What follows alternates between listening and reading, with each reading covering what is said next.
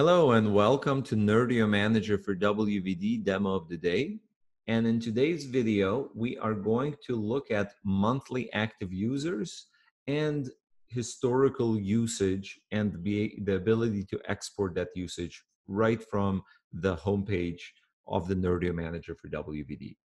So if you want to track at what type of utilization your WVD environment is getting from the users, there's really multiple dimensions you can look at. There is the dimension of what is called the named users, meaning how many users have been assigned to your host pools and app groups in your environment uh, at a workspace or WVD tenant level.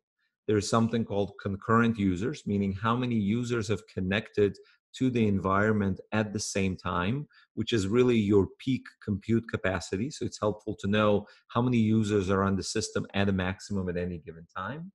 And then there is a new metric that was introduced in version 2.1.0 of the Nerdio Manager called the monthly active users.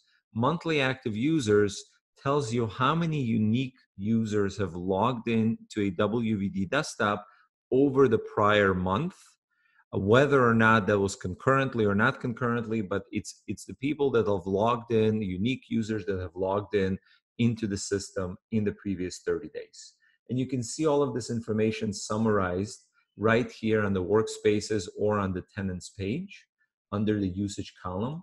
And it's also possible to click on any one of these values and that will open up a graph that's going to show you the last 30 days of how many users were assigned, how many users were monthly active users as of a particular day, how many users were logged in concurrently into the system, and also how many CPU cores you had um, that's been consumed by the environment, the infrastructure of WVD.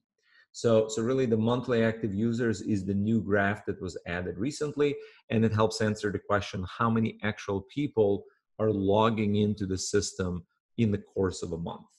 Now, another option you'll notice here is an export usage button. If you click on export usage, that will generate a CSV file that will provide you with the last 30 to 180 days worth of data for these four um, items here. Named users monthly active users concurrent users and cpu cores so you can actually look historically at how the environment has been utilized. Hope you found this useful and i am looking forward to seeing you in future videos